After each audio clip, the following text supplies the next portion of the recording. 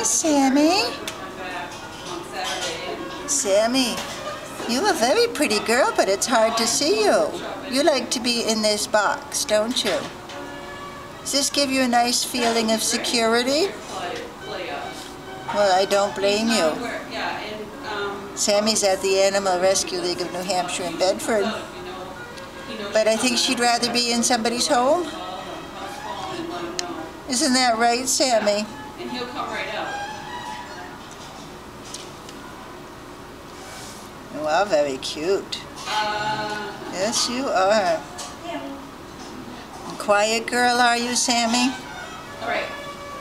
I don't know how to access. Pretty calico. While I'm on the phone, on my other phone that I have. So when I look it up, I'll write it on paper. I'll put it Okay, Sammy. on the